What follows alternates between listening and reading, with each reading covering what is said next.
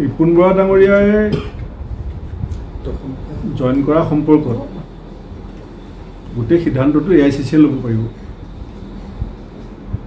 আমি অসম প্ৰদেশ কংগ্ৰেছ কমিটিৰ ফালৰ পৰা তেখেতে আহিলে আমি একো বেয়া নাপাওঁ। আৰু তেখেতে জইন কৰিব নে নকৰে বা ল'ব নে নলয় সেইটো সিদ্ধান্ত অন্য ক্ষেত্ৰত মই ল'ব পাৰোঁ। কিন্তু ৰিপুণ বৰা ডাঙৰীয়াৰ ক্ষেত্ৰত এ আই চি চিয়ে ল'ব লাগিব। কাৰণ আমাৰ দলৰ ৰাজ্যিক পৰ্যায়ৰ একেবাৰে হায়েষ্ট পোষ্টটোত তেখেতে আছিলে।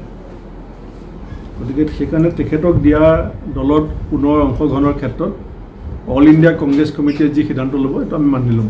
যেতিয়া আলোচনা হ'ব তেতিয়া আমি তৃণমূলকো সুধিম। এতিয়ালৈকেতো বিষয়টো আলোচনা হোৱা নাই।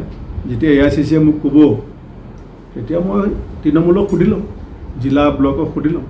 আৰু এই চৰাইদেউ মিটিংখন সাত তাৰিখে চৰাইদেউত আমাৰ বৰ্ধিত কাৰ্যনিৰ্বাহক সভা অনুষ্ঠিত হ'ব।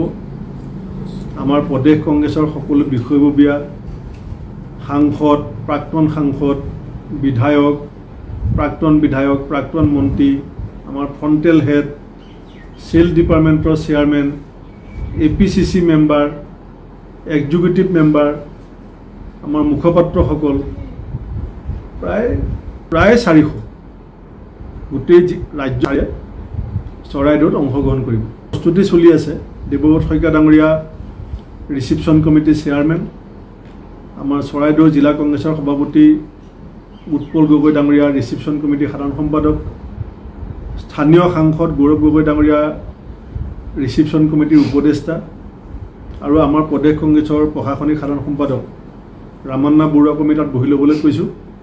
আৰু সভাখনত আমাৰ নেতা জিতেন্দ্ৰ সিং ডাঙৰীয়া দুগৰাকী A I C C secretary Prithviraj Sathe ডাঙৰীয়া জিতেন্দ্ৰ বাঘেল ডাঙৰীয়া তেওঁলোকেও যোগদান কৰিব।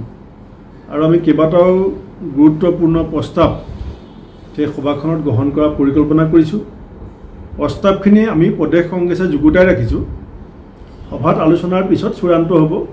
কিবা সংশোধন বা সংযোজনৰ মাজেদি আমি কিছু গুৰুত্বপূৰ্ণ ভৱিষ্যতৰ দিশত দল পৰিচালনাৰ ক্ষেত্ৰত ৰাজনৈতিক ক্ষেত্ৰত চৰকাৰৰ মুখামুখি ক্ষেত্ৰত আমি কিছু প্ৰস্তাৱ ল'বলৈ গৈ আছোঁ। আপুনি বিচৰা বাতৰি পাব কেৱল নিউজ এইটিন এপত। নিউজ এইটিন এপ ডাউনলোড কৰিবলৈ স্কেন কৰক এই Q R code Google play ষ্টৰতো পাব এই নিউজ এইটিন এপ